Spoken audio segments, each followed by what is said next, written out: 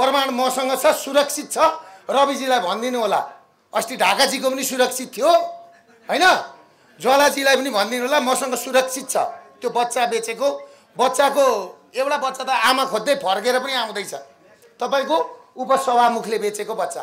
बाल मन्दिरको सत्रवटा बच्चा बेचेको रहेछ। सत्र पाँचवटा बच्चा चाहिँ पत्ता लाग्यो। कहाँ कहाँ कसले बेच्यो भनेर। र उपसभामुखले नै बेचेको रहेछ त्यसको प्रमाण। एकजना के भन्नुहुन्थ्यो उहाँ? सम सम्थि स- त्यहाँ उहाँ लेखिराख्नुहुन्छ सङ्ग्रह सङ्ग्रौला थरको हुनुहुन्छ। उहाँले भन्नुहुन्थ्यो प्रमाण छ भने पेस गरेर भन्नुहुन्थ्यो। उहाँ ए ज्वाला सङ्ग्रौला उहाँलाई म भनिदिन्छु। प्रमाण मसँग छ सुरक्षित छ। रविजीलाई भनिदिनु होला। अस्ति ढाकाजीको पनि सुरक्षित थियो होइन? ज्वालाजीलाई पनि भनिदिनु होला मसँग सुरक्षित छ। त्यो बच्चा बेचेको बच्चाको एउटा बच्चा त आमा खोज्दै फर्केर पनि आउँदैछ। तपाईँको उपसभामुखले बेचेको बच्चा। तपाईँले कस्ता मान्छे राखेर देश हाँक्न खोज्नु हुँदैछ तपाईँ कहाँ हुनुहुँदैछ तपाईँ आफै बुझ्नुहोस्। मिसन चकुरासी भनेर तपाईँ र अब केपी ओली तात्नु भइरहेछ अब यहाँ मिसन टुडेमै यहाँ दसैँ पछाडि के हालत हुने हो थाहा छैन। दसैँ पछाडि के हुने हो थाहा छैन। उहाँहरू चौरासीको कुरा गर्नुहुन्छ चार वर्ष पछाडिको चार वर्ष पछाडि। उहाँलाई भनिदिनु होला लासले सबले मान्छेका लासहरूले मलामी कुरेर बस्छ। त्यो स्थिति आउँदैछ नेपालमा मैले मेरो आँखाले मेरो भिजनले देखिसकेको छ। त्यही भएर मैले यो अभियान सुरु गरेको। र मैले यो अभियान सुरु गर्दै गर्दाखेरि मलाई मारवाडी समुदायलाई खेदो मारवाडी समुदायलाई खेदो मैले मारवाडी समुदायलाई कहिले पनि खेदिनँ। मैले मारवाडी समुदायभित्रका पनि चौधरी उहाँले नि भन्नु पऱ्यो चोर डाका फटा तस्कर अझ डाकाहरूलाई खेदेको। यिनीहरूलाई त म देशबाट निकासा गर्छु गर्छु। यिनीहरूलाई त देशबाट निकासा गर्छु गर्छु। निकाल्न सकिनँ भने नि म कुमाईको छोरो होइन। यो कुरा बुझ्नुहोस्। कसले रोक्दो रहेछ कुरा बुझ्नु भएन? कसले रोक्दो रहेछ यिनीहरूलाई खेद्नलाई? किनभने राकेश अडुकियाजीलाई तपाईँको उहाँको सम्पत्ति खानलाई सुनको कारोबार गर्यो भनेर उहाँको फोटो चौबिसै घन्टा पत्रिकाले निकाल्यो। ठुला मिसन मिडिया मसँग अब सोह्रवटा मिडियाको पनि ड्याम पर्दैछ। सोह्रवटा ठुला मिडियाको ड्याम पर्दैछ। तर तिनीहरूसँग पनि लड्न तयार छु म। हिजो पनि खेदेकै हुन् यिनले आज पनि खेद्दैछन्।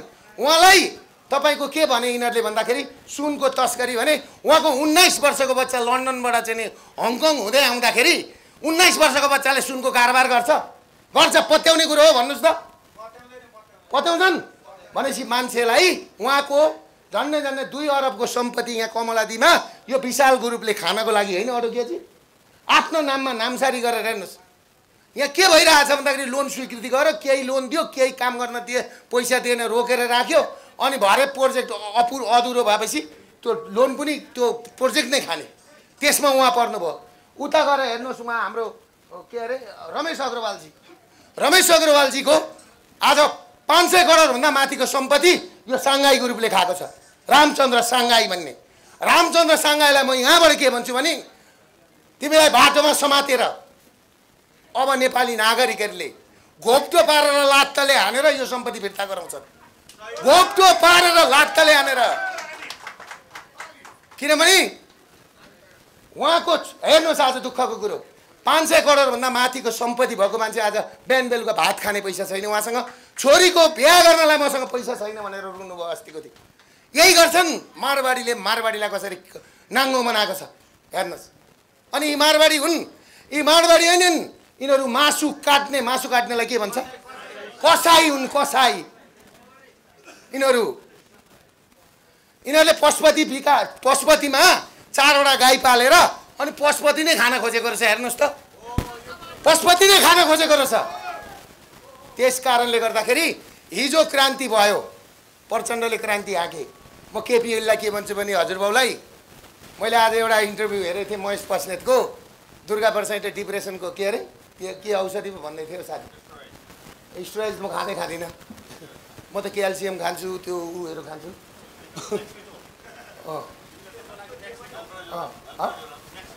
मलाई के भने छ भने भातमा मिसाएर खुवाउँछ। मेरा हजुरबाउले साढे चार सय क्विन्टल उसिना चामल नक्सलबाडी लगेर बेच्ने हजुरबुवा भाला रोपेर मार्ने के थियो केपी ओलीले मेरा हजुरबाउलाई रोजगारी दिने आज हामी जस्तो रोजगार सिर्जना गर्नेलाई मेरा हजुरबाउलाई अठाइस सालमा भाला रोपेर मारेर आज सामन्तसँग आएर मिलेको रहेछ केपी ओली। रमेश के अरे महेश बस्नेतलाई भनिदिँदा हुन्छ। महेश बस्नेतलाई ठाडो च्यालेन्ज छ। महेश बस्नेतको बुवाको देश होइन। केपी ओलीको पाउको बपौती होइन यो देश। यो देश नेपाली नागरिक सर्वहारा वर्ग भुइँ मान्छेको देश हो। र यो देशको नेतृत्व अब दुर्गा प्रसाईले गर्छ। दुर्गा प्रसाईले गर्छ। यो कुरामा बुझ्दा हुन्छ। दसैँ पछाडि हेर्दै जानुहोस् यिनीहरूका घर घरमा नेता र यी तस्करहरूका घरमा मान्छे पस्छन् यो त कास्टिङ मात्रै अघि दाइले भनेको टेलर भन्नुहुन्थ्यो नि। यो त तिनजनाको मात्रै सार्वजनिक गरेको मैले। पच्चिसवटा छन् यस्ता सार्वजनिक गर्नुपर्ने पच्चिसवटा। अनि त्यहाँबाट युवासँग लगाउने थर्काउने युवासँग के साँच्चै सत्य कुरा गर्दाखेरि थर्काउन पाइन्छ युवासँगले। युवासँग के को लागि बनाएको? नेपाली काङ्ग्रेसको नेविसँग के को लागि बनाएको? उनीहरूका जस्तै तस्ता हाम्रा पनि तयार छैनन् भाइ हो? हाम्रो त तस्ता तयार भएका छैनन्। अनि? को छ अब। त्यसले गर्दाखेरि तपाईँहरूले के बुझ्नुहोस् भने मोतीलाल डुगट दुगट गोवामा लगेर छोरीको बिहा गर्ने। गोल्छा सार्जामा लगेर बिहा गर्ने। दुबई कोही अमेरिका लगेर छोराछोरीको बिहा गर्ने। नेपालमा आएर भर्मलुट गर्ने। सुन तस्करी गर्ने। नक्कली भारू नोटको कारोबार गर्ने। तपाईँको नेपाली नोटको त्यहाँ देखाइएन होइन आज। नेपाली नोटको कारोबार गर्ने। हामीले त खाल खालबाट खिचेर ल्याएका छौँ फोटा तपाईँको यो सुनौली नाकामा यो तपाईँको चाहिँ नि के भन्छ यसको नाम? वीरगन्जका बोर्डर बोर्डरमा तपाईँको सुनका गोदामहरू हेर्नुहोस्। ऊ पैसा ल नि। रक्स लु हेर्नुहोस् पैसा त्यसरी। नक्कली पैसा सुनका कारोबार त्यसरी हुन्छ। यो के यो देश उद्योग धन्दा कल कारखाना सबै सिद्ध्याएर तस्करीको अड्डा क्यासिनो खेल्ने ठाउँ जस्तो बनाएको रहेछ। ल हेर्नुहोस्। के हामी क्यासिनोका गोटी हौँ यिनीहरूको? क्यासिनोका गोटी हौँ। त्यसले गर्दाखेरि म तपाईँहरूलाई के भन्छु भने र यो देशमा रहेका म सम्पूर्ण राष्ट्रवादी शक्तिहरू जसलाई राष्ट्रप्रति माया छ जसलाई देशप्रति माया छ जसलाई सर्वहाराप्रति माया छ जसलाई भुइँ मान्छेप्रति माया छ आउनुहोस् एउटै मालामा गाँसियो अब तपाईँले के बुझ्नु छ भने ठ्याक एकछिन एकछिन पर्खिनुहोस्। यहाँ म भन्छु एक दुईवटा कुरा। यी चाहिँ दिल्ली रमन रेग्मीकी छोरी नातिनी रहेछन् दिल्ली रमन रेग्मीले चाहिँ आफ्नो श्री सम्पत्ति सबै राष्ट्रको नाममा गरिदिएका एक एक विभूति जस्ता मान्छे हुन्। उहाँको उहाँको नातिनी अवान्तिका। अमान्तिकाको बोली हो त्यो। त्यो बहिनीसँग तपाईँहरूले सम्पर्क गर्नुहोला। अरुण चौधरीले कति ज्यादती गरेको छ। अर्को कुरो तपाईँहरूलाई म के भन्छु भने ब्रिटिसहरू इन्डियामा नि तपाईँको व्यापार गर्न भने नै आएका थिए। ब्रिटिसहरूले इन्डियामा के गरे भन्दाखेरि नि दुई सय पचास वर्ष राज गरे। अहिले यिनीहरू पशुपतिमा किन छिरेर छन् भन्ने कुरो बुझ्नुभयो। पशुपति नै खाना लगाइरहेछ नि त। यिनीहरूलाई गाई पाल्न चाहियो जग्गा भने म झापामा दिन्छु। म त्यसै दिन्छु दस बिघा जग्गा आउन्। बनाउन् म दिन्छु। म दिन्छु। त्यहाँ लगेर पालुन्। गाई पाल्ने दुध खाने अनि पशुपतिको जग्गा मेरो हो भन्ने। अर्को कुरो यो आन्दोलन हामीले गरेनौँ भनेदेखि यो सोह्रजना मारवाडीले देश चलाउँछन् नि फेरि।